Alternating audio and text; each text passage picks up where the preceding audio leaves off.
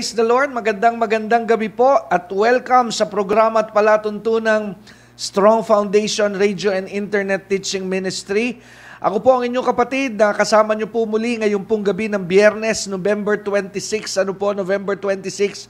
At sa Amerika, ano po, November 25. At sa mga nasa abroad pala natin, lalo na dyan sa United States, ha, Happy Thanksgiving Day. Ano po, sa malahat po ng mga nanonood po sa atin from the United States of America dahil Thanksgiving celebration po dyan po sa bansang Amerika, kanila pong ginugunita, inaalaala ang uh, kabutihan at katapatan ng Diyos sa kanila pong bansa. Ano po dahil uh, sa dami po ng kanilang mga pinagdaanan, sila po ay sinamahan at pinagpala po ng Panginoon. Kaya sa mga nanonood sa atin dyan sa US, sa Happy Thanksgiving.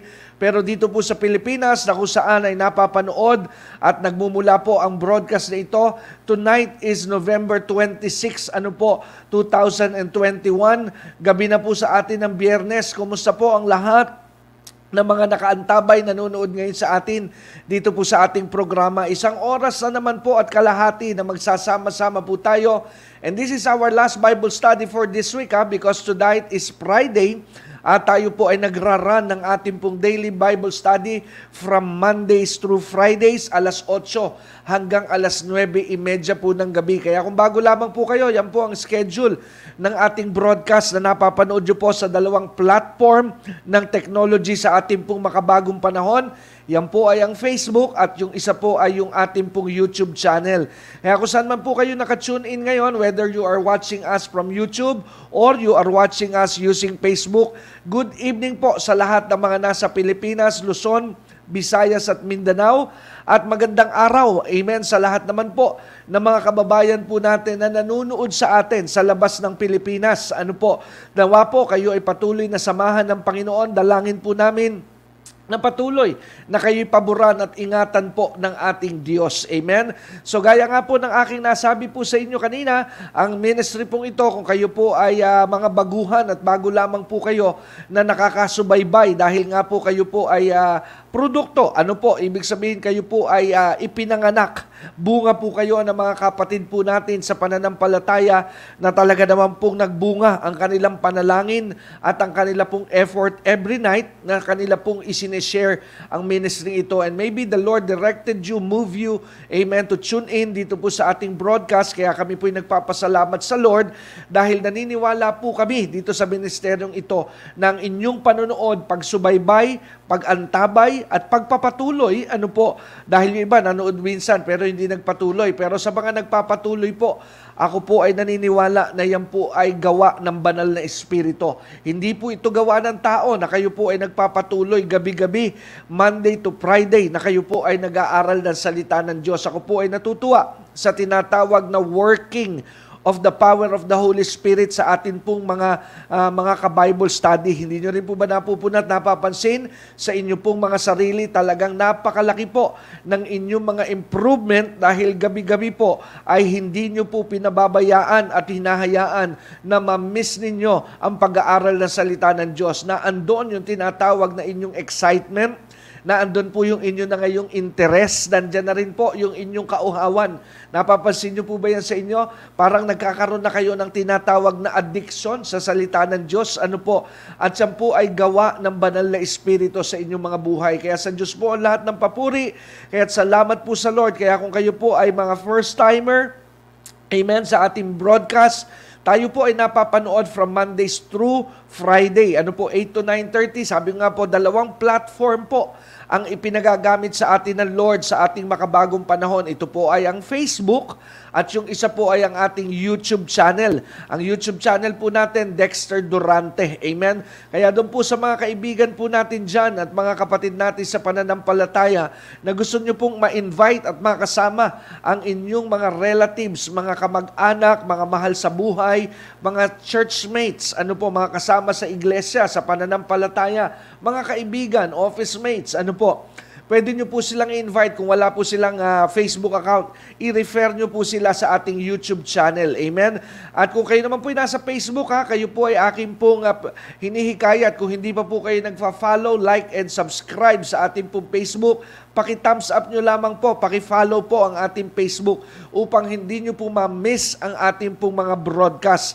At ngayon din sa mga nasa YouTube channel, ano po sa mga nanonood sa atin via YouTube, ay paki-subscribe po. Kung hindi pa po kayo nagsasubscribe, wala naman po yung bayad just by clicking yung tinatawag na bell button at yung salitang nakalagay po dyan na subscribe. Amen?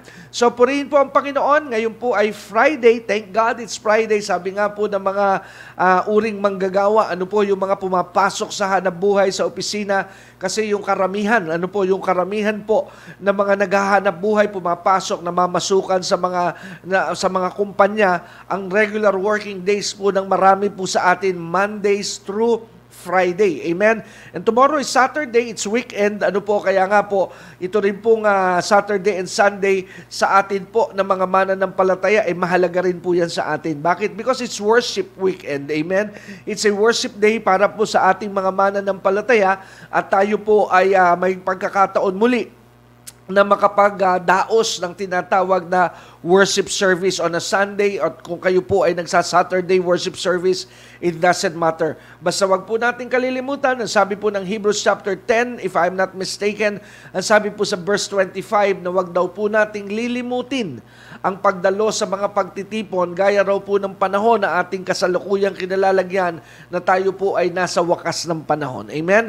Kaya nga po kung may pagkakataon po tayo, dumako po tayo sa ating mga worship services sa araw ng linggo at sa araw po ng Sabado. At bukas po ay uh, araw po ng Sabado para po sa mga kapatiran ng biyaya ng Diyos Christian Fellowship only Muntinlupa chapter. Hindi po lahat ha, ng BND ay uh, Saturday po ang ating worship service. So ito pong branch sa Alabang, dito po sa Muntinlupa, ito po lamang yung kaisa-isa na BND Church na ang pagdaraos po ng uh, gawain ng pagsamba ay Sabado. Amen? So kung kayo po ay may time and you are available and you are just around the corner, malapit po kayo sa area, we are inviting you to come and join us and worship the Lord together. Ano po?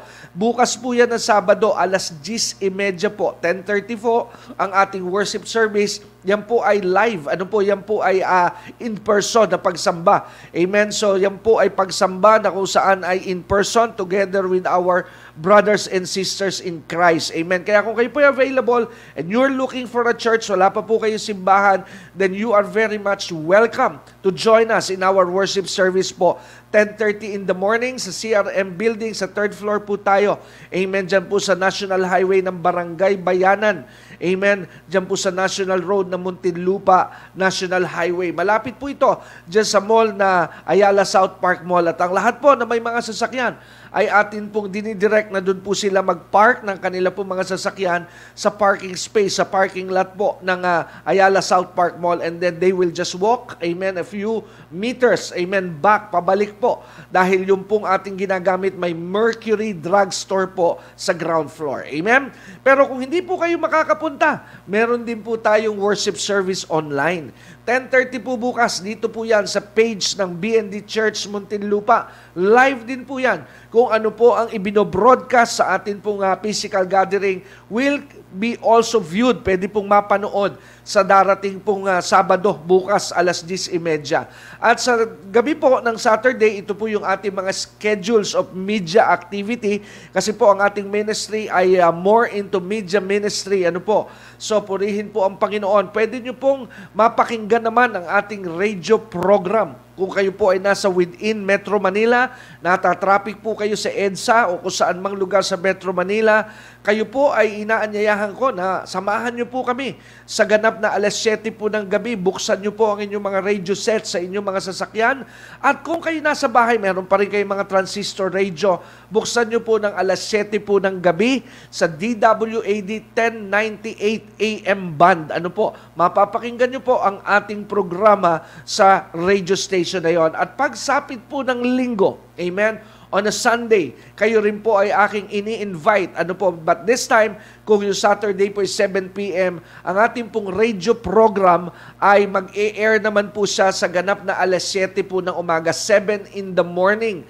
The same radio station po yan sa CBS, DWAD, 1098 AM band. Ano po? So yan po ang ating mga schedule of activity, media activity para po sa ministry ito na ipinagkatiwala po sa atin ng Panginoon. At gusto ko rin pong i-announce sa inyo ha dahil ito po ay bunga ng uh, mga uh, pag-aambagan at pagtulong po ng ating mga partners para po mapalawig, mapag- ma-advance po natin ang tinatawag na pangangaral at maging po tayong agresibo sa pangangaral po ng salita ng Diyos gamit po ang technology because we believe, tayo po naniniwala na bahagi po ng Bible prophecy that in the last days, the gospel of the kingdom will be preached all over the world and then the end will come. At naniniwala po tayo dito sa ministry ito that this is that day na tinutukoy po ng Biblia because there are no other generation. Amen? Na kagaya po ng ating dinaranas ngayon na massive, ano po, at talagang expansive po and explosive at malawakan po ang nangyayaring pangangaral po ng salita ng Diyos in our time in our generation. Gaya, nga po ng pagbubukas ng internet, grabe po ang additional mileage Amen, na ibinigay po nito para po sa pangangaral ng salita ng Diyos kasi nagiging po ngayong madali at lumalawak at dumadami po ang naaabot ng mabuting balita ng ating Panginoong Heso Kristo. At kaya po kami rin po dito sa ating ministry dahil nga po sa mga partners po natin, meron po tayo mga application na ginagamit Pwede nyo po nang i-download ano po ang ating mga teaching materials sa pamamagitan po ng Spotify. Kaya kung meron po kayong application sa inyong mga smartphone na Spotify, ito po ay uh, alternative po ito, kung hindi ako nagkakamali, parang iTunes ito eh. Ano po? Dahil ito po isang platform na kung saan ay uh, dumaraan naman po yung mga podcast, ano po, dyan po sa Spotify. And also, ay nandyan din po yung mga music. Pero ang maganda po kay Spotify, amen, once you download this application sa inyo pong smartphones, amen, yung mga materials ng atin pong ministry, yung mga teaching materials, pwede nyo pong i-download sa inyong mga telepono. Amen? At pag na-download nyo na po yon, pag kayo po ay walang internet access, wala kayong data, nasa sasakyan kayo, nagbabiyahe kayo, ano po, pwede nyo pa rin pong ma-play. Amen? Pwede nyo pong mapakinggan ngayon yung mga materials ng ating ministry na i-download po ninyo sa inyo pong mga smartphone. At ang magandang balita, ito po ay libre. Amen? Wala po kayong babayaran pag kayo po ay nag-download ng atin po mga teaching materials. Ang benepisyo naman napakalaki dahil kayo po ay mafi-feed ng salita ng Diyos. At mangyayari at ma-activate po sa inyo yung sinasabi po ng Romans 10.17. Ano po ba yon? Paborito natin yan dito eh. Ano po yung Romans 10.17? That faith cometh by hearing and hearing by the word of God. Amen? So ang pananalig ay dumarating, ibig sabihin, na i-empower, na i-enhance, na papalakas po ang ating pananalig sa Panginoon the more we keep ourselves listening to the preaching of the gospel. Kaya pagka wala pong pananalig, eh, maliwanag din po yan sa book of Hebrews that without faith, it is impossible to please God. Kaya sa ating pong panahon, mga kapatid, nasa atin na po halos lahat ang mga tinatawag na pamamaraan para ma-feed ang ating pong pananampalataya. Ang gagawin na lang po natin ay tayo po ay hahakbang para po ating samantalahin at pakinabangan itong mga technology na ito. Amen? So praise God. Purihin po ang Panginoon ngayong biyernes ng gabi. Magandang gabi po sa lahat muli. Kung kayo po ay bagong uh, tune in lamang, binabati po namin kayo at wini-welcome. So tonight, kung tayo po ay magkakasama na at magkakaisa tayo sa Espiritu, can we start in prayer? Tayo po muna ay magbukas sa isang panalangin sa gabing ito. Ama naming Diyos na napakabuti, kami po ay nagpapasalamat dahil again, Lord, we believe that this is the night that you have made and we will always rejoice and be glad in it. Salamat po dahil kami ay muling binigyan mo ng opportunity na magsama-sama bagamat virtual itong aming ginagawa but we believe that your presence is in our midst. Kaya banal na Espiritu, wini-welcome ka namin at hayaan mo muli na ang iyong kapangyarihan ay lumukob at sumama sa gawain ito ngayong gabi. Salamat po, Ama. Ito po ang aming panalangin. Ang lahat po ng nakiisa ay magsabi ng Amen. So purihin po ang Panginoon. Salamat po sa Lord and welcome po sa ating program. Gusto ko po muna palang i-acknowledge ha, lahat po ng ating mga viewers. Ano po ang mga nanonood po sa atin. Wine-welcome natin Luzon, Visayas at Mindanao. Lahat ng mga nanonood po sa atin sa Pilipinas, dyan sa Mindoro, sa probinsya ng Batangas, dyan sa mga nasa Pampanga, dyan sa mga nasa Northern Luzon, gaya ng Ilocos, ano po, Bataan, uh, Cagayan, ano po, marami tayong mga viewers na dyan. Maging sa mga nasa Visayas region, ha, may mga nanonood po sa atin. Dyan po sa area ng uh, Cebu, dyan po sa area ng ano pa ba mga lugar dyan sa Visayas na may mga viewer po tayo. Dyan po sa bahagi po ng Tacloban, amen.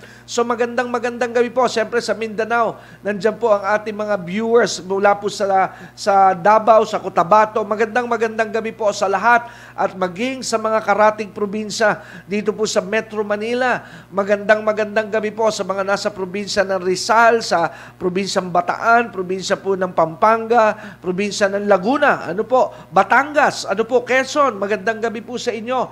At kami po ay nagpapasalamat sa Lord at muli tayo po ay nagkakaroon ng pagkataon na makapag-fellowship, makapagdaos po ng napakalaki at napakalawak na Bible study. Amen? Pero siyempre, hindi lamang po ang mga naririto sa Pilipinas ang kasama po natin sa gabing ito ng biyernes. Amen?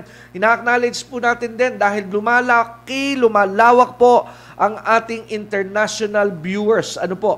Ang mga kababayan, kapatid po natin sa pananampalataya na nasa labas ng bansa na tayo po ay sinasamahan, amen, sa ating pong gawain ngayong gabi. So batiin ko po ang mga outside uh, of the country natin, ha, ang mga bansa na nasa Singapore, yung mga kababayan po natin na nanonood, good evening ha, sa mga nasa Singapore, sa Japan, dyan po sa lugar ng uh, Germany. Ayan, lumalawak na rin po itong ating European audience. Yung mga nasa Germany, nasa London, nasa Belgium, at meron na rin po tayo mga viewers na nanonood sa atin from Italy. Purihin po ang Panginoon. At binabati rin po natin, dati noong una, laging Belgium, ano po, the land of the chocolate and waffles. Ngayon, nadagdagan na po ha, ng Germany, London, Belgium, at Italy. At ang ating uh, Middle Eastern viewers, ha, dumarami rin po from Saudi Arabia, from Bahrain, from Cyprus, from Oman, from Dubai, ano po. So, lumalawak po ito. Amen. Lumalawak po ang atin pong uh, mga nanunood po sa atin. At syempre, kasama po natin ang mga viewers natin from Canada. Amen. From Australia. Maging dyan po sa New Zealand. At syempre, ang mga United States audience po natin, yung mga nasa USA. Kanina binati ko ang mga nasa Amerika because uh, ngayon, 26 sa atin sa Amerika, kung di ako nagkakamali, 25 pa lamang sila po ay nagkasalukuyan, nagse-celebrate ng Thanksgiving. Amen? So happy Thanksgiving po ha sa mga American audience natin at sa mga nasa state ng Texas, Las Vegas, Los Angeles, sa West Coast, East Coast, ano po, Florida, dyan po sa lugar ng Ohio. Good evening. Good evening to our uh, uh, brothers and sisters that are watching us from Ohio, from the states of Ohio. May bago pong nadagdag mga kapatid na another state ha, another state sa US na nanunood, sinusuportahan din po ang ministry ito. Amen. Pinanunood po tayo sa Alaska. Amen. Napaka napaka-init po diyan. Amen. So magandang gabi po, magandang gabi po mula sa Pilipinas at magandang araw po sa lahat ng atin pong mga international audience and also sa lahat ng ating mga kababayan na pinapanood po tayo dito sa Pilipinas. Amen? So, muli, purihin po ang Panginoon. Ito na rin po yung oras ha, kung kayo po ay nabe-bless. Sabi nga po ng ating hashtag dito sa ministry, we are blessed to be a blessing. Amen? So tayo po ay pinagpala upang maging pagpapala. Sabi nga ng Lord kay Abraham, Abraham, I will bless you.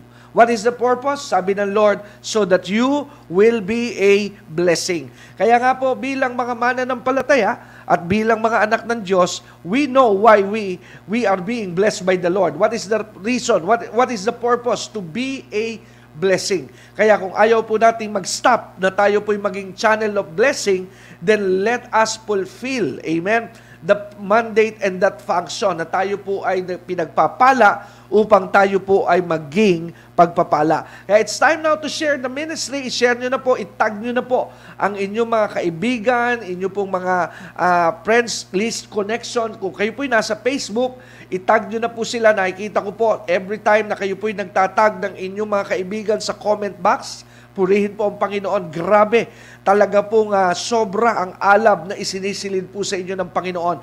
Pero napansin ko rin po ha, kasi ito po in-inform lamang sa akin ng ating pong program director na pag nagtag po kayo ng mga pangalan sa inyo pong friends list, i-check nyo po kung nag-blue-blue. Ano po, napansin ko nga, totoo nga, na yung iba pong mga tinatawag na tagging ay may mga blue, kagaya po, bigyan ko kayo example ha. Hindi ako nagkakamali, yung kagaya po nila Sister Marisa de Jesus. Ano po, pag sila po ay nagtag ng kanila po mga friends, nagbubulo po yung mga name. Doon lamang po kasi nila makikita yung inyo pong tagging, kaya dadaan sa kanilang wall yung ating program. Pero sabi ng ating pong program director, pag hindi daw po kagaya ng mga ginagawa nila Sister Marisa na nagbublo, yung pangalan na inyong tinag, hindi po nila nakikita. Kaya parang ang nangyayari po ay baliwala. Ngayon, hindi ko sure pa paano ba nagiging blue yun. Double clicking, ano? So, double click ba yun? Kailangan i... Okay. Ah, okay. So ganito po pala, sabi ng ating program director, ano po, pag itinype nyo po sa inyong comment box yung name, lumabas, i-click nyo yung name, ano po, dahil pag click nyo po yon, dun po madidirect tag yung inyo pong itinag. Amen? So maliwanag po ba? Medyo may konting, ano ha, medyo may konting uh, uh, complicated. Amen? Pero siyempre, lagyan po natin ng extra effort dahil tayo po ay nag evangelize Amen? through sharing this ministry. Amen? Purihin po ang Panginoon. Alright, so purihin ang Panginoon. Tayo po ay uh, uh, halos mag start na sa ating Bible study. Pero before, ano po, bago po ako tumungo sa ating pong uh, Bible study proper, meron lamang po akong padadaanin at sasagutin na isang tanong mula po sa isa pong kapatid natin na nanunood sa atin sa ating pong program. Pinadala niya po kasi ako ng question at siya po humihingi ng tulong And I responded back dahil uh, kung akin pong itatype uh, via chat, medyo mahaba po yung teaching. At uh, baka ma-miss ko rin yung ibang mga words. Amen? And sabi ko, if, if, if it's okay, ako po ay magbibigay ng konting oras para po sagutin yung kanya pong katanungan. Amen? So ito po yung unang tanong na kanya pong ipinadala. Dalawa po halos ka pala ata itong tanong na ito. Sabi niya, uh, tama, dalawa po. Ang sabi po rito, bakit po ba kailangan natin ang prayer? And number two, paano po masasabi na makukuha mo ang tagumpay sa iyong panalangin? Ganda po nung tanong. So ang tanong po niya ay may kaugnayan po sa panalangin. Amen? So ang sabi niya, bakit po tayo mananalangin at paano magkakaroon po ng tinatawag na katiyakan na makukuha natin yung ating ipinanalangin. So ang una pong sagot ko dyan, amen, na, doon sa tanong na bakit po kailangan tayong manalangin, ay una, kasi nga po, tayo'y naniniwala na ang Diyos po ang ating pinagmumulan at pinanggagalingan ng ating pong tulong. At sa panalangin po, ay doon po natin ipinararating, ipinaabot po sa Panginoon ang ating pong pangangailangan. At also, ang pananalangin po ay pagpapakita na tayo po ay nananalig na sa Diyos po ay walang imposible. Amen? Yan po ang isa rin pong gamit ng prayer because it is also an act and a demonstration of faith that we believe that with our God, nothing is impossible. Sabi nga ng Luke chapter 1 verse 37, kung mababasa niyo po ang Lucas kapitulo 1, talatang 37, nandun po ang talata na nagsasabing, with God, all things are possible. Amen? And then, ang isa pong uh, halaga rin at dahilan kung bakit po tayo nananalangin, kasi tayo po ay iniimbitahan minumungkahi po at hinihikayat po ng Panginoon na ang kanyang bayan ay dumalangin. Amen? At tumawag po sa kanya. Amen? Pero ito po yung sumunod na sagot do sa tanong na pangalawa paano raw po magiging uh, magkakaroon ng assurance yung atin pong pananalangin. Siyempre, number one po sa listahan para magkaroon po ng assurance na meron po mangyayari sa ating panalangin. Number one po is faith. Because if you pray in faith, amen, the Lord will grant and hear your petition or request. Because God does not answer a prayer of unbelief. Hindi po tumutugon ng Diyos sa panalangin na may pag-aalinlangan. Kaya number one po, napakahalaga po ng tinatawag na pananampalataya or pananalig. Ngayon, Gayon din po, mahalaga na ang panalangin po ay ganito po ang tinatawag na uh, uh, itinuturo po sa atin. Number one, kailangan po tayo po pagdanalangin ay may persistence. Ibig sabihin po sa Tagalog ng persistent, ibig sabihin po tuloy-tuloy. Ibig sabihin, hindi po tayo nananawa. Diyan nga, kinuha ko minsan yung acronym na PUSH, pray until something happens. Amen? Kaya kung, kung kailan ka po titigil, hanggat hindi mo po na kukuha, amen, ang iyo pong inihingi sa panalangin, keep on praying. Amen? Because one, amen, one of the element, isa po sa elemento ng isa pong uh, very strong prayer life, there is an act of persistency. Amen? So pag ikaw din po'y nananalangin, inaasahan ka ng Diyos na ikaw ay nananalangin na may kalaki po na pasasalamat. Nasa Luke 18.1 po ang tinatawag na scripture reference. At kung mananalangin din kayo, sabi ko nga kanina, paulit-ulit sa Philippians 4.6, pray in faith. Amen? Manalangin kayo lagi na merong tinatawag na pananalig. And also, napakahalaga po ng James 1.5 principle that when you pray, pag kayo po'y nanalangin, para po sigurado na may resulta at tutugon po ang Panginoon, ang prinsipyo na itinuturo po ng James 1.5, po kayo dadalangin, hihingi sa Panginoon, be sure, tiyakin po ninyo, ng inyong hinihingi ay kalooban po ng Diyos. Amen? At yung prinsipyo naman sa Matthew chapter 6 verse 10, sa inyong pananalangin, amen, ay napakahalaga din na ang isa po sa tinatawag na purpose ay para maluwalhati ang Diyos. Amen, to glorify God to give God the glory. Hindi po para tayo po ang sumikat, para po tayo ang maging tanyag, kundi kaya natin hinihiling ang breakthrough True prayer ay upang ang Diyos po ay mabigyan ng tinatawag na parangal. Amen? So, yan po ang uh, sagot do sa tanong po ng kapatid. Dahil humingi po siya ng tulong para po daw siya ay uh, kahit konti lang daw maliwanagan po dito po sa areang ito ng pananalangin. Merong isa pang kapatid na nagtanong naman po sa akin din, nag-PM naman. Ang katanungan niya, bumalik ulit yung katanungan sa vaccine. Amen? Yung turo ka na yan yung tinatawag na COVID-19 vaccination. Amen? So ngayon, ang tanong po niya sa akin ay uh, kung okay lamang po ba at tama lamang po ba raw na siya po ay magpabaksin. Ngayon, ang tanong ko sa kanya ay uh, inalam ko muna kung ano ba ang nagigipong uh, damdamin at uh, gumugulo sa kanyang puso. Bakit po ayaw niya natanggapin po ang tinatawag na vaccine. Kasi parang meron na po akong uh, nadidiscern eh. Amen? So nung una, ang una pong uh, kanyang sinabi ay dahil po for medical reason. Kaya ang payo ko po, kahit hindi hindi po uh, hindi po kayo yung nagtanong, payo po ito mula po sa ating ministry. Pakinggan niyo po ha. Kung kayo po ay may medical condition, amen, alam nyo na meron po kayo mga maintenance, meron po kayong mga medical issues sa inyong pong katawan, Amen. This is an unsolicited advice. I suggest, amen, you stay away, amen, from the vaccine. Huwag po muna kayo magpaturok kung kayo ay may mga sakit, may karamdaman. Ang tawag nila dito, hindi tayo eksperto, ang tawag atay comorbidity. Amen? Kaya mahalaga na kayo po muna ay magpatingin sa inyong mga doktor na inyong pinagtitiwalaan para po malaman ninyo kung kayo ba physically ay fit na tumanggap po nitong tinatawag na bakuna. Kasi baka mamaya, dyan po kasi nangyayari yung mga complication. Kaya may rami po ang nangangamatay. Kasi ikaw pala ay diabetic, ikaw pala ay may heart condition, heart problem, tapos nagpaturo ka.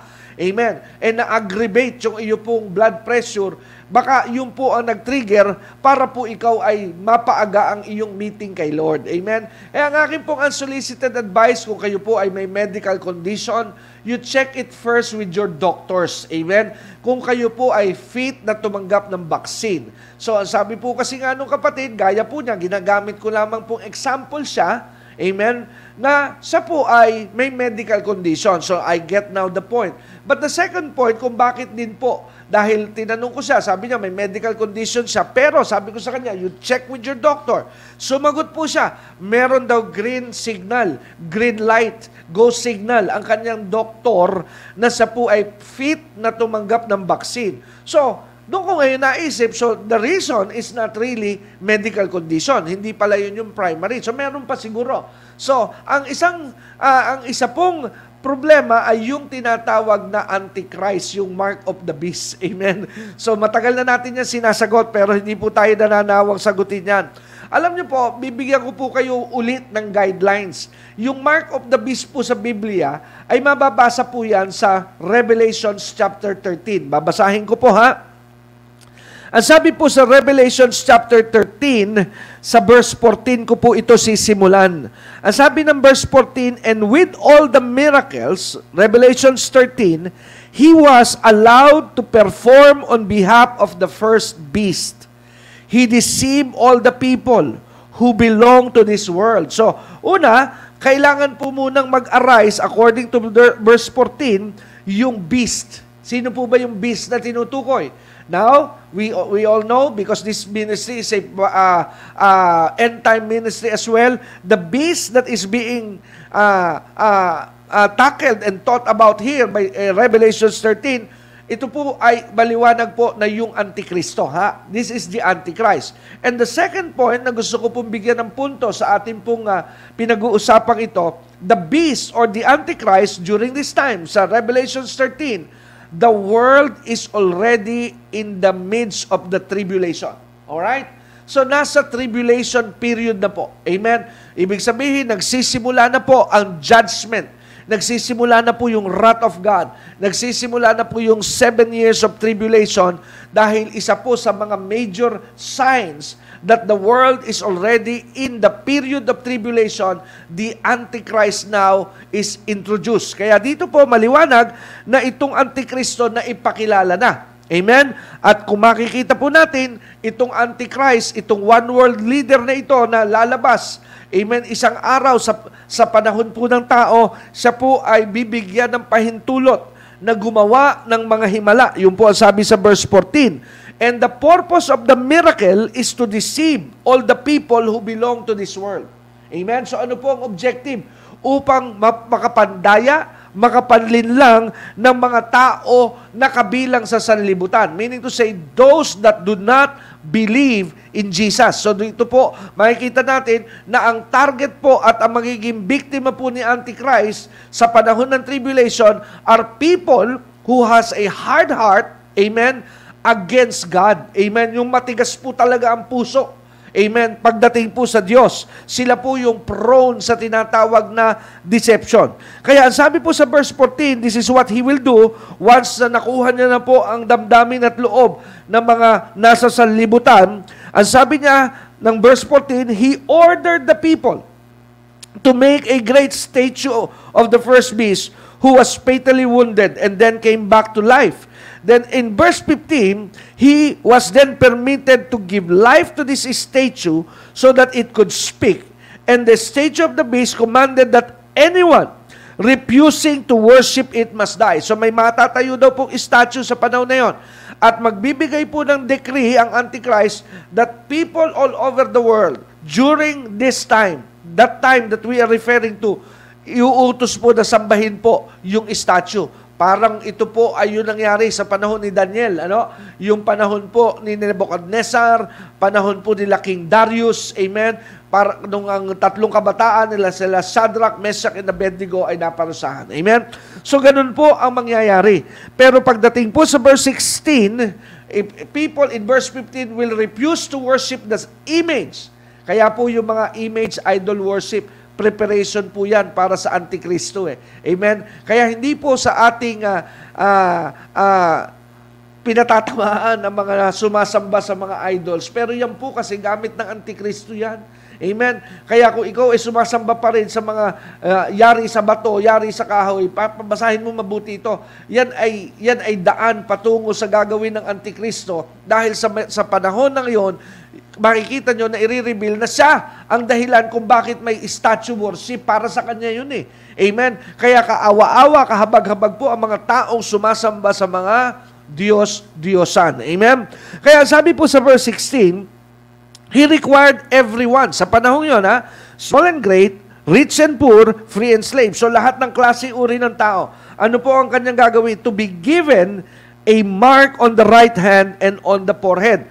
So kung wala pong mark, ito na yung mark of the beast, patatatakan niya. Ano po ang magiging pong implication pag walang tatak? Hindi ka raw po makapagbabansel or anything without that mark. So, ibig sabihin, hindi ka makapagtatransaksyon. Amen? Now, this is my point now. Listen. Kung yung vaccine po ay mark of the beast, number one, there must be a beast. Dapat nandyan na po yung Antikristo. So, kung nandyan na din po ang Antikristo, ibig sabihin, nangyari na po yung rapture. Amen. Eh wala pa tayo nababalitaan na libo-libo, milyon-milyong tao isang araw na nawala. Dahil bago po pumasok ang tribulation, maliwanag po na ating pinaniniwalaan ng turo ng Biblia, magra-rapture muna. So ibig sabihin, ay nakapag-rapture na. So anong ibig sabihin ngayon? Naiwan tayo. Hallelujah. So pangalawa, dahil dun po sa panahong na ililitaw yung mark of the beast, meron munang ma- panukalang batas na gagawin ng Antikristo. Lahat ng tao sa ibabaw ng daigdig kailangang sumasamba doon sa Diyos-Diyosa, doon sa rebulto nung Antikristo na kanyang itatayo. Do, do we have that kind of statue today? Wala pa po. Amen? Wala pa po yung image of the beast na yon. Kaya hindi po pwede na sabihin po ng sino mang nangangaral, Amen? Kaya kung may nangangaral na yung vaccination is mark of beast, ako na po mismo magsasabi, bulaang mangangaral po yan. Amen. Bulaang mga ngaral yung inyo napapakinggan. Kaya yamang nakakakita na kayo ng palatanda, ang bulaan niya, medyo dumistansya na kayo. Amen. Medyo lumayo-layo na kayo sa mga ganyang uri ng mga mangaral kasi kayo ay inaakay nito sa maling katuruan. Amen. Kaya yung vaccination, wala pa hindi po yan yung mark of the beast. Amen. Pero naniniwala po tayo na ito po ay posibleng preparasyon, pag-aaral, paghahanda para po pag in-implement yung mark of the beast, meron na pong pattern. Pero kung sasabihin po ng mga aral na yung vaccination mark of the beast, that is not true. Kasi pagka ikaw ay tumanggap ng mark of the beast, ikaw ay makaka-buy and sell. Kasi yung mga walang tatak, yun ang hindi makaka-buy and sell. Tama po ba yon mga kapatid? So, ngayon, dito po sa ating panahon, yung mga may vaccine at walang vaccine, nakakakain pa rin sa restaurant. Nakakapasok pa rin sa trabaho. Amen. Nakakuha po ba natin? Hindi pa rin po tayo inaalisan ng karapatan. Amen. At tayo pa rin po ay may freedom of worship. Hindi pa tayo pinoforce na sumamba sa image of the beast. Malaya pa rin po ninyong napapakinggan sa internet ang mga broadcast tungkol po sa pagpapahayag tungkol kay Yeso Kristo. So we are not yet in the period of tribulation. Amen? Nakukuha po ba natin yon? Kaya nga po yung vaccination, ito po ay prerogative. Ibig po sabihin, narinig ninyo yan dito sa ministry ito, ito po ay desisyon ninyo. Amen? Nasa inyo po, kung ayaw nyo, wag mo. Pero kung may kumpiyansa ka, gusto mo, then go. Amen? Pero hindi po natin ituturo dito sa programang ito na once you receive the vaccination, you lost your salvation. That is not true. Hindi po yan ang katuruan ng Biblia. At wala pa po tayo sa tinatawag na mark of the beast. Amen? So now, I rest my case. So praise God, tayo po ay uh, darako na. Sana po nakatulong ako do sa mga kapatid po na nagtanong kasi isa po yan sa disenyo ng ating programa. So let us now go to our Bible study. Magbalik na po tayo do sa ating talagang subject. We are talking about the subject about the parable of the ten virgins. Ano po? Kagabi po ng Webes, yan po ang ating pambungad at panimula dito po sa subject na ten virgins. So ngayong gabi tayo po ay magsimula ulit na mag-aral at magbalik sa pagpapatuloy or continuation nito pong ating pag-aaral dito po sa parable of the ten virgins. Let us pray. Panginoon, salamat po muli sa gabing ito at kami ay muling makakapakinig, makakapag-aral ng iyong salita. Holy Spirit, again, you are the greatest and the best teacher of the church. Gamitin mo lamang po ako na daluyan at instrumento. Salamat po, Panginoon, at puspusin mo po kaming lahat ng iyong kapangyarihan in Jesus' name. And everybody say Amen. So go now to Matthew 25. Basahin po ulit natin. Sabi sa verse 1 to 13.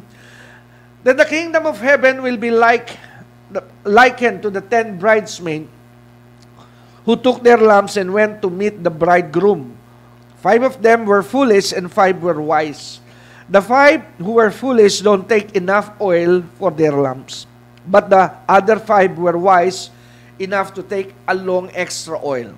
And in verse 5, when the bridegroom was delayed, all beca- became drowsy and fell asleep.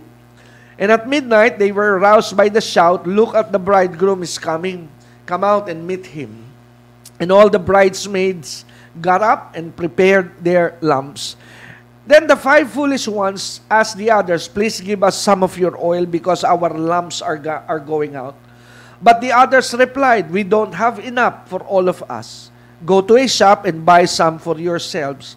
But while they were gone to buy oil, the bridegroom came. Then those who were ready went in with him to the marriage feast, and the door was locked. Later, when the other five bridesmaids returned, they stood outside calling, Lord, Lord, open the door for us. And in verse 12, but he called back, believe me. The groom said, I don't know you. And in verse 13, so you too must keep watch, for you do not know the day or hour of my return. So kagabi sa ating pong pag-aaral ay uh, binigyan po natin ito ng introduction. Amen? So, kagabi po kasi ay akin pong ipresent sa inyo na may iba't iba pong angulo at interpretation po ang mga nangangaral ng salita ng Diyos when it comes to preaching the parable of the ten virgins. Binigay ko po sa inyo yung ilang mga mga mga pangangaral na ginagawa po ng ibang mga mangaral.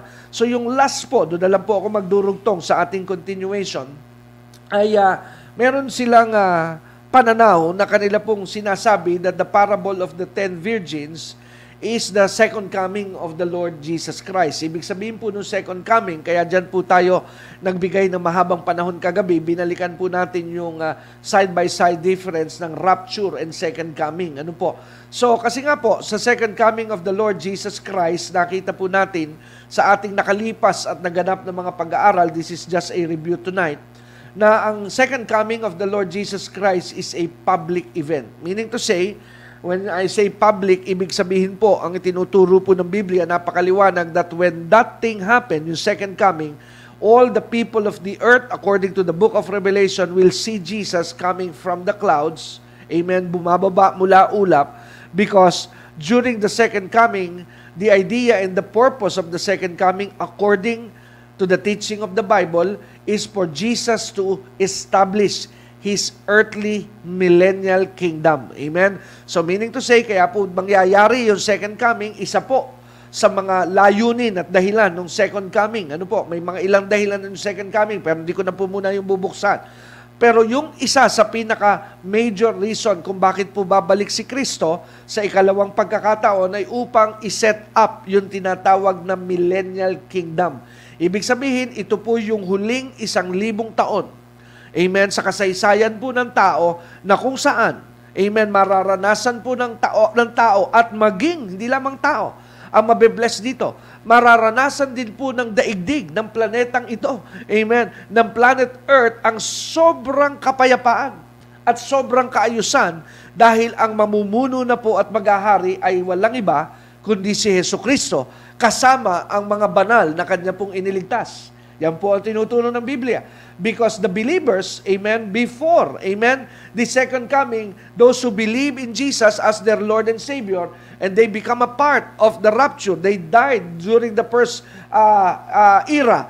Sila'y namatay, pero sila'y namatay na nagtiwala at sumampalataya sa Panginoon. May pangako po ang Panginoon sa kanila, sa mga believers. May pangako po ang Diyos sa atin, ng mga mananampalataya. What is that? We will reign with Him. Tayo po ay kasama ng Panginoon na mamumuno at maghahari kasama niya.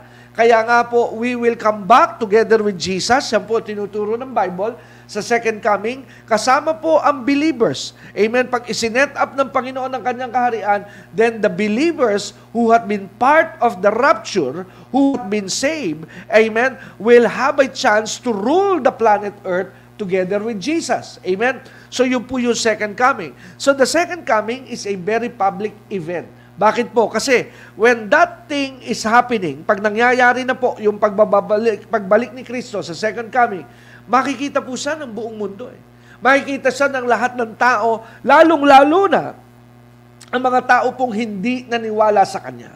Lalong-lalo na ang mga naging matigas ang puso sa Panginoon, they will see Amen, the King of Kings and the Lord of Lords. And not only, ito po yung pinakamasakit din dyan, hindi lamang po ang makikita ng mga hindi naniwala kay Kristo ay yung si Jesus, kundi ang pinakaisa pang makikita po nila ay the people. The people that some of them, they knew them. Ang mabigat po dito, yung ilan kilala nila doon eh. That they were once in their life binahagian, sinera ng tungkol sa Diyos. Pero ano ang ginawa nila nung sila'y sinesera ng gospel? They ignore it. Amen. At kung minsan, ang masakit pa, bukod sa inignore, nilait pa. Amen. At minsan, pinersecute pa yung nagseshare ng mabuting balita. Pinagtatawanan. Pinagtatawanan, kinukot siya. Amen. Pero makikita nila na itong mga kanilang inignore na ginamit ng Diyos sa kanila to preach to them the good news, the gospel, the grace of God, ay kasama ni Jesus na bumababa mula ulap. Amen? Ang sakit po nun. Amen? Kaya nga po may kasabihan tayong mga Pilipino, nasa huli po ang pagsisisi. Amen? Nasa hulihan po ang pagsisisi.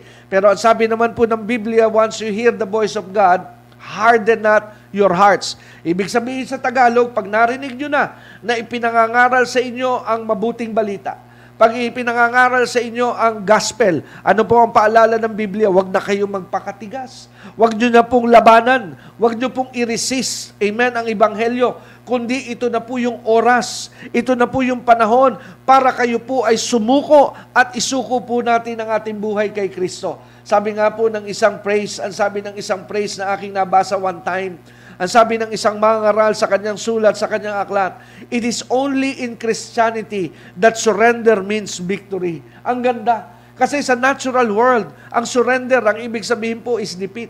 Sa gera, pag sumuko po ang isang bansa, nakalaban ng isang bansa, sumuko siya doon sa kanyang kalabang bansa, ito po ay isang act of defeat. Tama po ba? Amen? Act of defeat po yon. Kaya yung pagsuko sa mundo, it is an act of defeat. Amen. Halimbawa, pag ikaw po halimbawa sa isang eleksyon, nag-concede. Ibig sabihin nung nag-concede, another term, another word for, a, for surrender. Dahil nakita mo na na talagang mukhang malakas yung kalaban mo sa eleksyon. Ginagamit sa politika yan. Sabi, nagko-concede na ako. So, when you concede, when you surrender, it's an act of defeat. Yung po yung action ng pagkatalo. Tama po ba? Sa isa palakasan, sa sports. Pag, pag ikaw po nag-quit sa mga martial arts, kung nanonood po kayo, pag nag-top ka, amen, kung uh, nasa mga mixed martial arts, pag nag-top, ibig sabihin po doon, I surrender, I submit. Amen. At doon po ay ibig sabihin po nung tinatawag na surrender is an act of defeat. Tama po ba yon? Sa boxing, pag hinagisan ka po ng tinatawag na white towel, ano pong ibig sabihin nun? That's an act of surrender. So ano po ang ibig sabihin ng surrender sa mundo? It's an act of defeat. But, There is a difference in the, in the supernatural. There is a difference in the spirit. Because in the spiritual world, in Christianity, Amen? Kaya doon nga pumapasok ulit in play yung sinasabi ng salita ng Diyos sa panahon ni Isaiah that my ways are not your ways and my plans are not your plans. Iba po ang isip ng Diyos. Iba po ang paraan ng Diyos. Kung sa mundo, ang surrender ay pagkatalo, sa Kristiyano, sa buhay ng mananampalataya, ang surrender, ang ibig sabihin ay tagumpay. Because only in Christianity, surrender means victory. Kaya pag isinuko mo ang iyong buhay mo kay Kristo, hindi ka po natalo. Ikaw po'y nagtagumpay. Glory to God. Kaya pag isinuko mo ang buhay mo kay Jesus, hindi ka natalo. Ikaw po ay nagtagumpay. Saan ka nagtagumpay? Nagtagumpay ka laban sa kasalanan, nagtagumpay ka laban sa sumpa. Amen at nagtagumpay ka sa gawa ng kadiliman at sa tanikala ni Satanas. You are victorious when you surrender to Jesus. Amen. Kaya yan po ang kaibahan ng surrender when it is used in the term inside Christianity. It is only in Christianity the word surrender means victory. Glory to God. So, kaya ating makikita mga kapatid, yun yung second coming. It is a very public event that the whole world will see it. And also not also not only it is a very public event, it is also an event that the Bible is very clear about it na ito po ay malalaman ng mga tao lalo na yung mga nag-aabang sa pagbabalik ng Panginoon sa panahong yon sa second coming. Bakit po? Kasi the second coming is scheduled according to the Bible sa dulo po ng seven years of tribulation. May schedule po ito. Meron po itong tak, tinakdang oras at tinakdang panahon ang Panginoon para po sa pangyayaring yon. Kailan? Pag natapos na po yung pitong taon, seven years, amen, pitong taon po ng tribulation, sa dulo po noon, doon magyayari po yung second coming. Amen? Ngunit, meron pong isa na itinuturo ang Biblia na kung saan ang Panginoon ay nangakong babalik. Pero ang kaibahan po ditong pagbabalik na ito, kasi sa second coming, dalawa po ang babalikan dyan pala. Dagdag ko pa ha. Sa second coming, pag bumalik po si Jesus, ang mga makakakita sa kanya dyan, aside from the unbelievers, because the whole world will see. Amen? Tingnan nga po natin yan. Gusto ko pong puntahan natin yan para po ating uh, maunawaan po itong ating pinag-uusapan. Go to Revelations chapter 19. Ano po? So samahan niyo po ako sa Revelations chapter 19 para po ating makita kung nasaan po itong reference na ito ng second coming of the Lord Jesus Christ. Now, if you are in the book of Revelation chapter 19, I want you to go and follow me sa Revelation chapter 19 verses 11. Mula po sa talatang 11 onwards, atin po itong basahin at ating pag-aaralan. So I'll be reading from the New Living Translation, whatever translation you may be using, you can use it anyway. So sabi po sa verse 11, John said, ito po ang kanyang testimony, sabi ni John, Then I saw heaven open, and a white horse was standing there. And its rider was named Faithful and True, for he judges fairly and wages a righteous war. Wow! So ano po sabi ni John? What did he saw? Nagbukas daw po ang langit sa araw na yon. At nung nagbukas ang langit, ano ang kanyang nasaksihan? Ano ang kanyang nakita? Isang puting kabayo ang nakatayo doon, pero may nakasakay. At yung nakasakay sa puting kabayo, ang pangalan niya ay faithful and true. Sino po kaya itong tinutukoy na ito? Amen. Ang sabi po sa verse 12, he goes on describing this person, the rider of the white horse. Ano sabi ni John sa verse 12? His eyes were like flames of fire And on his head were many crowns. Amen? Ang kanya daw pong mata ay animoy katulad ng isang naglalagablab na apoy. At ang sabi sa kanyang ulunan ay napakaraming corona ang nakasuot sa kanya. Look at that. It is not only one crown. Amen? Bakit ko po ito binibigyan din ng pansin? Kasi there is another passage in the book of Revelation. Amen? Na meron din pong ganitong tinatawag na senaryo na meron pong tinatawag na rider of a white horse. I think somewhere sa Revelation chapter 6, if I'm not mistaken, but I would not go there. Amen? So sa Revelation 6, hindi po ako nagkakamali, pero tingnan na rin natin para sigurado po tayo. Sa Revelation chapter 6, ano po, ang ating pong uh, pupuntahan, ating titingnan po yung uh, tinatawag na reference nitong mga horses na ito, yung mga white horse na ito na tinutukoy po ng Biblia Makikita po natin dito sa Revelation chapter, uh, teka lang po, hanapin lang natin ha. Revelation chapter 6, ano po, verse 2. Makikita po natin dito, ang sabi po sa verse 2, para lang po magkaroon tayo ng point of comparison. Sabi sa verse 2, sabi ni John sa verse 2, I look up and saw a white horse standing there. But what is the difference between the white horse that is being mentioned in Revelation 19? Sabi rito, this rider of the white horse, the same white horse, the same horse, color ng horse puti, pero meron po siyang bow. At bukod sa bow, siya po ay merong a crown. Isa lang yung kanyang crown. Amen? So, siya po ay meron lamang isang crown. While dito po, sa Revelation chapter 19, yung pong rider nitong white horse, amen, ay hindi po iisa yung crown. Ang sabi po ay wearing many crowns. Amen? So I will just uh, uh, uh, hold on for the interpretation for a while. Pero sabi sa verse 12, Revelations 19, a name was written on him that no one understood except himself. Then in verse 13, he goes on describing, dinidescribe ni John yung rider ng white horse sa verse na, chapter 19. Sabi sa verse 13, he wore a robe deep in blood. Hallelujah. And his title, medyo lumiliwanag na, was the Word of God.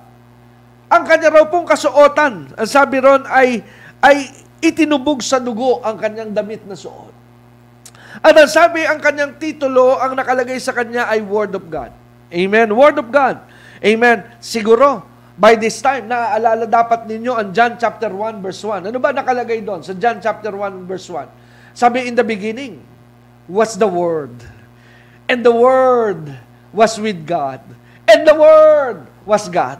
Tapos pag binaba mo pa yung John chapter 1 verse 14, kinikilabutan po ako mga kapatid. Ang sabi, the Word became flesh and dwelt among us. So who is the Word, my brothers and my sisters who is watching this program all over the world? The Word that is being mentioned here, the rider of the white horse, who is this? Tan -tan Revelation po. Sino po yon? Si Jesus. Amen. Si Jesus po itong nakasakay sa puting kabayo na binabanggit ni John sa Revelation chapter 19. And also, sabi sa verse 14, the armies of heaven, may kasama siya. dressed in the finest pure white linen, followed him. Ayan na, yan po ang mga believers. Glory to God. Dressed in the finest of pure white linen, followed him on white on white horses.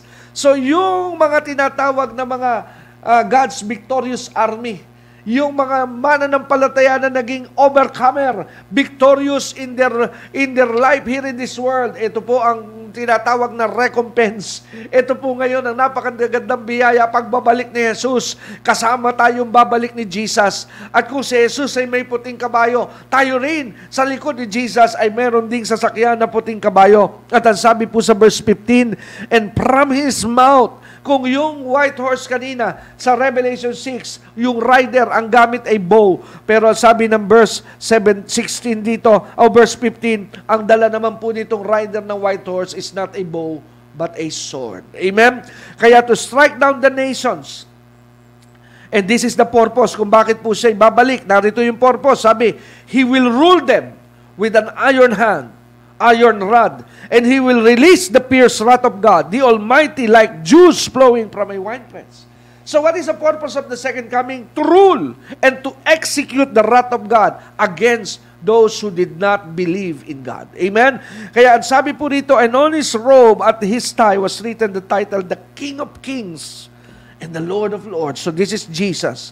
Amen? Kaya nga po mga kapatid at mga minamahal, sabi po rito, and in verse 18, ang sabi po sa verse 19, eh, let me just skip in verse 19.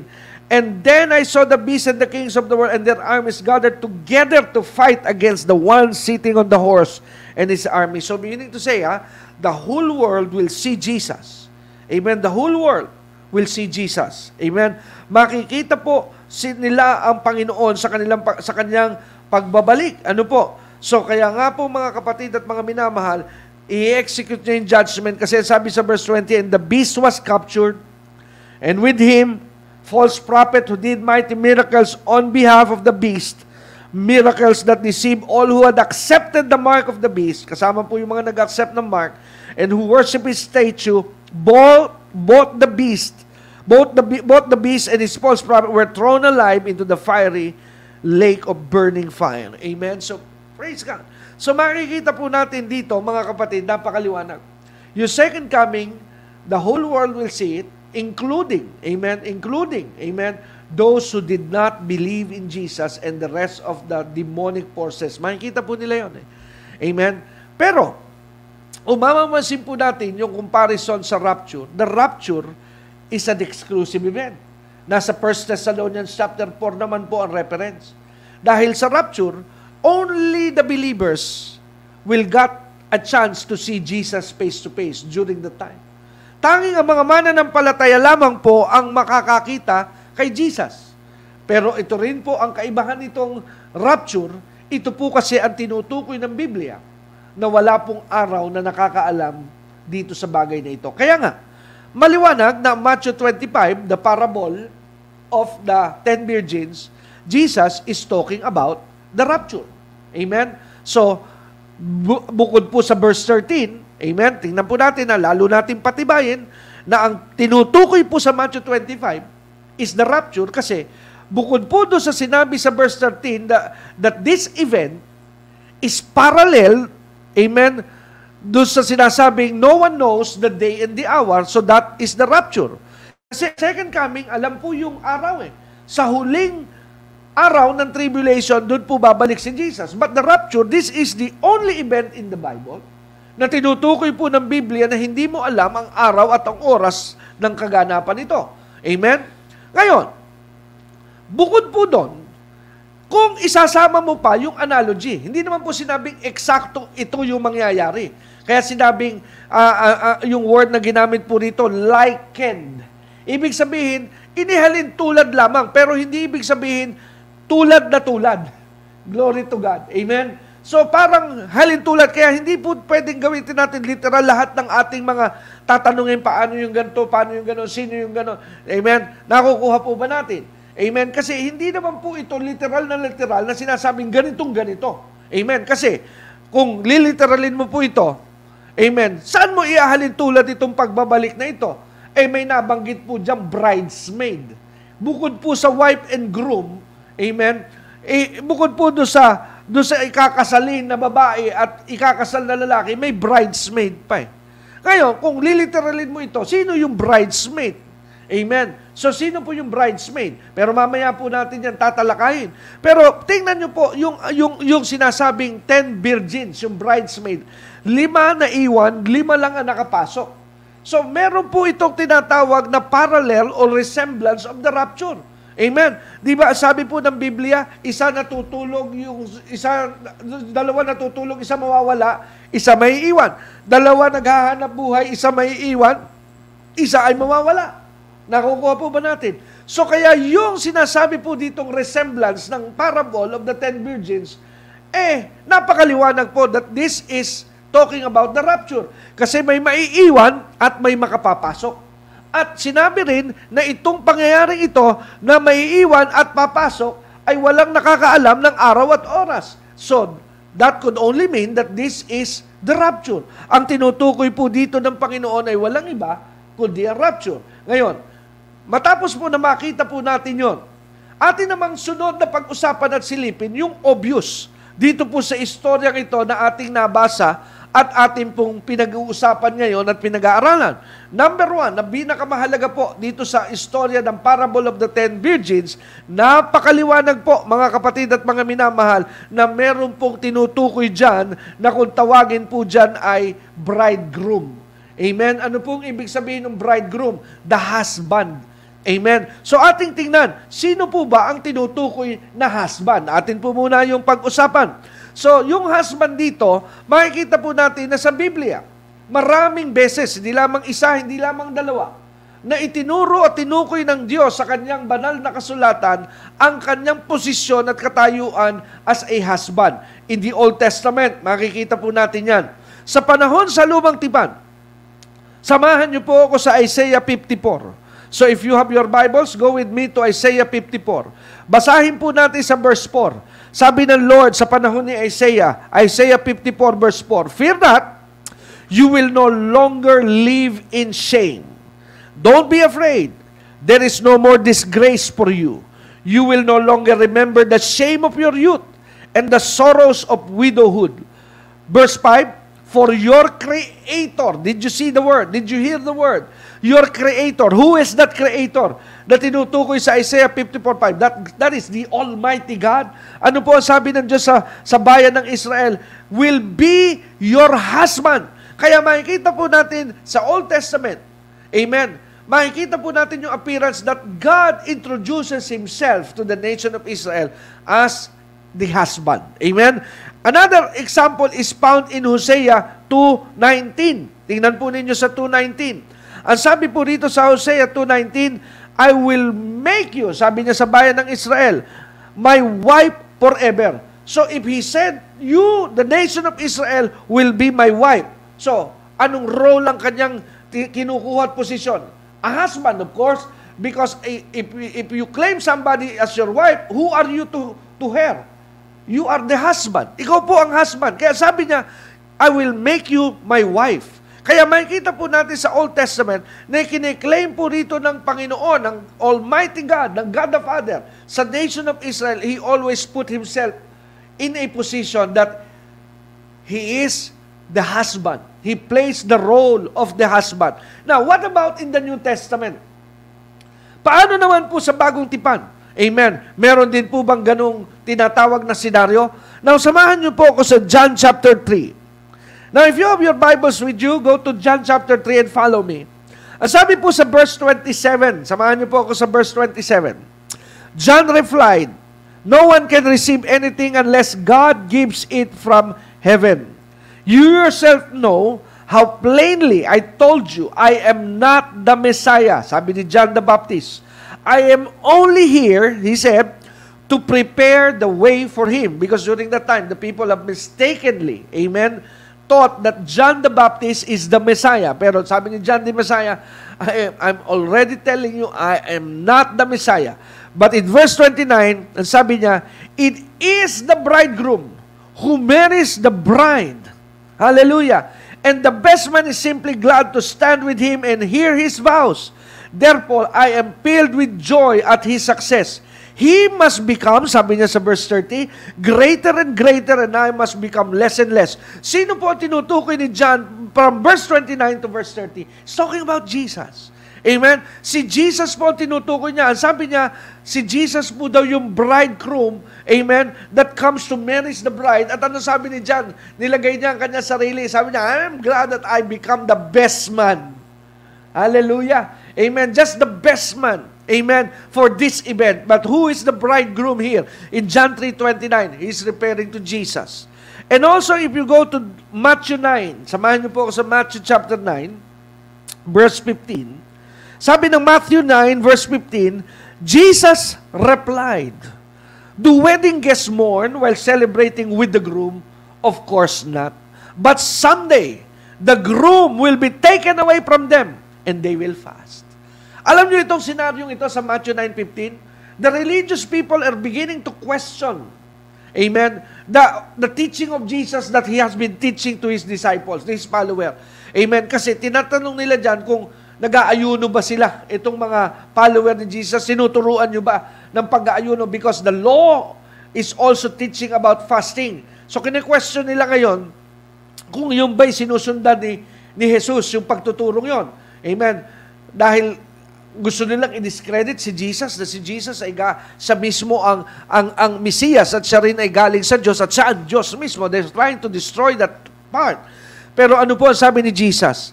Gumamit po siya ng isang salita na medyo parang parang uh, tricky. Ano po ang sabi niya? Ang sabi niya sa kanila, do wedding guest mourn while celebrating with the groom? Of course not. Amen. Sabi niya, yung bang mga inimbitahan sa kasalan, Pwede ba na habang kayo nasa gitna ng kasalan, kayo ay nagluluksa habang nagse-celebrate kayo kasama yung ikinasal? Siyempre, hindi maganda yun. Pagkasalan, hindi po ito luksaan. Ito'y masayang, masayang event. Tama po ba? Amen. A wedding is not a, a morning event. Hindi po ito araw ng pagluluksa. Ito po ay napakagandang araw. Celebration yan eh. Sabi niya, nag, tama ba nagluluksa mga inanyayahan? Amen, kasama nung masayang ikinasal. Hindi tama. Pero sabi ni Jesus, but someday, pero may parating na araw, the groom will be taken from them and then they will pass. Sino yung groom na tinutukoy ni Jesus? He was referring to himself. Pero huwag kayong mag-alala para sabi ni Jesus, darating yung araw, kukunin sa kanila yung groom. Kukunin ako sa kanila because I will be back with my Father in heaven. And that day, they will fast. Amen? Kaya the church fasted when Jesus was taken to heaven ipinractice po ng simbahan ng pag-aayuno. Amen? And let's go. This is my last for tonight, but I will be back on Monday. I will continue our Bible study on Monday, but this is my last scripture for the night. Samahan niyo po ako sa Ephesians 5. What about the teaching in the church? Ito naman po ang teaching sa simbahan. Sabi ng sulat ni Paul sa Epeso, sa simbahan sa Epeso, sabi niya sa 5.25, For husbands, sabi niya, this means love your wives. Just as Christ loved the church, He gave up His life for her. So ano yung ginagawang comparison ni Pablo rito sa kanyang pagtuturo sa buhay mag-asawa? Sabi niya, ginagawa niya ng analogy rito kung paano ang dapat na right attitude ng isang Christian husband. Ano raw po ang trabaho ng Christian husband? Ibigin ang kanyang asawa. Saan niya itinulad ito? Gaya ng pag-ibig ni Kristo sa simbahan. So saan niya kinukompare si Jesus? Sa role ng isang husband. Amen? Dahil ang husband dapat iniibig ang kanyang asawa. Kaya kung may mga husband na nanonood dyan ngayong gabi, do you love your wives? Amen? Mahal niyo po ba ang inyong asawa o ginagawa niyo pong punching bag? Amen? Now in verse 26, to make her holy and clean, washed by the cleansing of God's word.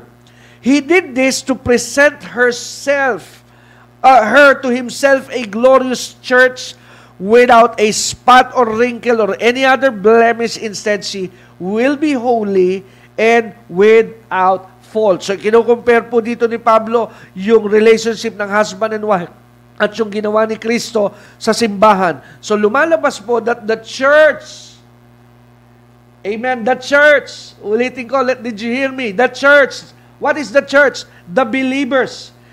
They are, amen, the wife. Amen, the wife. Amen. The wife of the groom. Who is the groom? Jesus. So sino po yung bride? Hallelujah. Sino po pala ang bride na pinag-uusapan dito? The church. Amen. The bride is the church. Kaya nga po, sabi rito, In the same way, husbands ought to love their wives as they love their own bodies. For a man who loves his wife actually shows love for himself. No one hates his own body, but feeds and cares for it, just as Christ cares for the church. And we are members of his body. As the scripture say, a man will leave his father and mother and is joined to his wife and the two are united into one. And this is a great mystery, but it is an illustration the way Christ and the church are one. So ano po ang illustration na tinutukoy, ginamit ni Pablo illustration ng husband and wife relationship upang makita po ang katotohanan na si Kristo ang husband, ang simbahan ng wife. Ano ang dapat ginagawa daw ng husband sa wife? Iniibig, patuloy na uh, dinadalisay, ibig sabihin pinangangalagaan, ganyan ang ginawa ni Kristo sa simbahan. Tayo'y patuloy niyang iniibig, tayo patuloy niyang inaalagaan, tayo patuloy niyang tinutustusan, tayo, kaya mga kapatid, ito ang dahilan. Kahit minsan na hindi tayo karapat-dapat, alam mo, may iyak ka, nandyan pa rin ang Diyos na tinutustusan ka, na andyan pa rin ang Diyos na ikaw ay pinuproteksyonan. Bakit? Because that is how a husband love his wife. And we are the we are the bride of Christ. Tayo po yung bride of Christ. Tayo po yung tinutukoy dito. Kaya nga po, going back, and this is my final conclusion, pero hindi pa po tapo, tayo tapos sa 10 virgins. I will continue this preaching, this teaching next Monday. Kaya nga po, kung makikita po natin, very obvious po doon sa 10 virgins story or parable, that the bridegroom, amen, ito, ito na po ang ilan sa ating mga nakita, the bridegroom, is representation of Jesus. The, the bride represents the church. And also, the five virgins who made it and the five virgins, because there are ten, who did not give an entry is a type of the rapture. So ito yung mga nakita na natin, ha? And the word or words na ginamit ni Jesus sa Matthew 25 verse 13. Ano po sabi ron? That this event, nobody knows the time and the hour that talks of the rapture. Matthew 25 verse 12, nung tawagin niya po yung lima na sinabi niya, I never knew you. It's also a proof, amen, na meron pong tinatawag na fake believers. Napag-aralan na rin natin yan minsan sa ating mga pinag-usapan at pinag-aralan na merong inaakala nila sa believer pero they are not. And what is the consequence of being fake? They will not be part of the rapture. They think they are part, pero the rapture will only give a clear evidence that they were not truly a believer. Amen. Kaya exciting din po ang rapture. Alam nyo, ang isa pang ang isang exciting sa rapture, sa rapture po magkakaalaman kung sino po ang tunay talaga ring mananampalataya at sino po ang nagkukudyari lamang na mananampalataya. Amen? Kaya are you exciting for that great revelation na darating sa araw na yon during that time? Amen? I am. Amen? Because it is also a proof and evidence who are really and true and genuine believers and followers of Christ. Amen. I hope you learned something again tonight. At sa Diyos po lahat ng papuri. Salamat po sa Diyos sa loob ng isang linggo muli na tayo po ay nakapagbahagi ng salita ng Diyos sa inyo na mga iniibig at minamahal ng ating Panginoon. Tayo po ay manalangin. O Diyos, mga makapangyarihan sa lahat, nagpapasalamat po kami sa gabing ito at muli sa loob ng isang linggo kami ay binusog mo at patuloy na pinadaloy mo ang pagpapala ng iyong mga salita upang makarating ito sa amin. Ikaw na po ang bahala sa mga binhi na nahasik at natanim sa bawat puso ng may mga pandinig at nakinig ngayong gabi at sa mga nakaripas at nakaraang gabi. Paunlarin mo po ito at hayaan mong ito'y magkaroon ng bunga. Salamat po, Ama, sa pangalan ni Jesus. Ang lahat po'y magsabi ng Amen. So purihin po ang Panginoon. Salamat po muli sa inyong pagsama sa amin sa loob po ng isang linggo na nakalipas at nagdaan at pakikipag-aral po ng salita ng Diyos. Nawa po kayo po ay napagpala at ang biyaya po ng Diyos sa inyong naranasan. At ngayon din, bilang pagwawakas at pagtatapos, ako po ay taos puso at lubusang nagpapasalamat din. Lagi ko po itong ginagawa gabi-gabi kasi nga po talaga namang sobra po ang kabutihan ng Diyos sa ministeryong ito kasi may mga lalaki at babae po na ginagamit po ang Diyos, pinagpapala ang Diyos upang matulungan din ang mga pangangailangan po ng ministeryo. Matatapos na naman po ang isang buwan. Amen. Alam niyo po, ang bawat pagsisimula ng buwan, ito po ay very challenging sa aming ministry. Kasi doon po namin makikita na talagang uh, uh, ang kinabukasan ay hawak ng Panginoon. Pero sa lahat po ng mga buwan na nakalipas, masasabi po nating the Lord is really good. Kaya nga po kami nagpapasalamat sa Diyos sa mga kapatid na nagtutulong-tulong para po hindi po mapilayan at mapabayaan po ang gawain ng Panginoon at maipagpatuloy po ang mga misyon na ipinagagawa po ng Diyos sa ministry ito ng Strong Foundation. Again, I I owe it and I thank the partners that had been faithful, amen, na nagipong tapat, committed, and very faithful to the Lord and to the work of the ministry. Salamat po sa inyo. Salamat po. Nakagugulat po ang ginagawa ng Diyos sa inyong mga buhay. Kasi ako rin naniniwala ko, hindi kayo pinagpapala ng Diyos, hindi kayo magiging pagpapala. Pero the Lord has been doing a great things in your life, kaya po kayo ay nakatutuwang din at nakatutulong sa ministeryo. Salamat sa Panginoon at kayo po ay nagpagamit. Amen. Salamat po sa inyong mga buhay na inyong ipinagamit sa Diyos, sa Diyos, sa inyong mga kamay. At dalangin ko na wag huminto at tumigil ang biyaya at pagpapala sa inyong mga buhay. Salamat mga partners, salamat po sa ating mga donors na ginagamit kayong kamay ng Panginoon. Pagpalain kayo ng Lord, patuloy kayong proteksyonan din at ingatan ng ating Panginoon. Again, my name is Brother Dexter Durante po. Pansamantala magpapaalam tayo at laging nagpapaalala sa inyo, Jesus is coming very soon. Ano po? And a true believer will always walk by faith and not by sight. And don't you ever forget, always remember, that Jesus is Lord. Good evening po, good night, and God bless us all and see you again sa darating pong lunes ng gabi. Alas 8 po ulit hanggang alas 9.30. God bless us all.